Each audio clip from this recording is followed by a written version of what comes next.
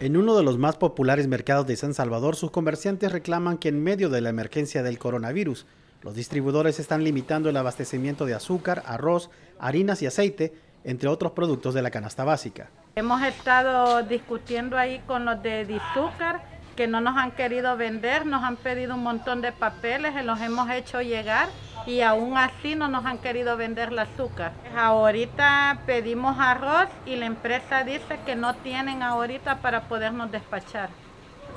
Un reclamo que también hace Arely Landaverde. Ella se queja que también el cloro está escaseando.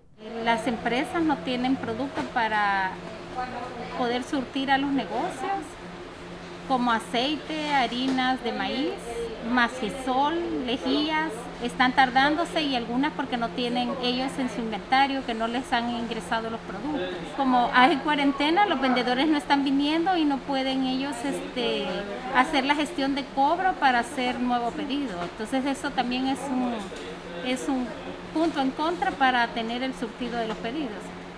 Y aunque algunos comerciantes ya sienten una baja en sus reservas, los consumidores aún no perciben el desabastecimiento. Eh, siento que no hay ningún desabastecimiento, al menos por el momento. Todo lo que he andado buscando lo he encontrado.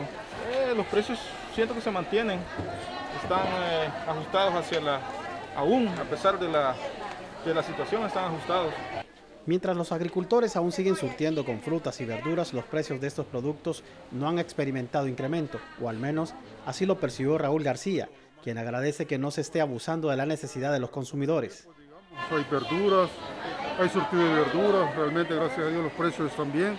No he visto que haya alza pues el comprador. Normal, digamos pues. Entonces me parece excelente, me parece que no están abusando pues. Creo que todos están solidarios y, están ayudándonos unos con otros, así como buenos salvadoreños. Y eso es bueno, pues que, en estos tiempos este, nosotros nos pongamos solidarios con nuestros prójimos. Sin embargo, sí hay quienes han notado que los precios se han elevado en los mercados. Ha cambiado bastante, bastante, bastante.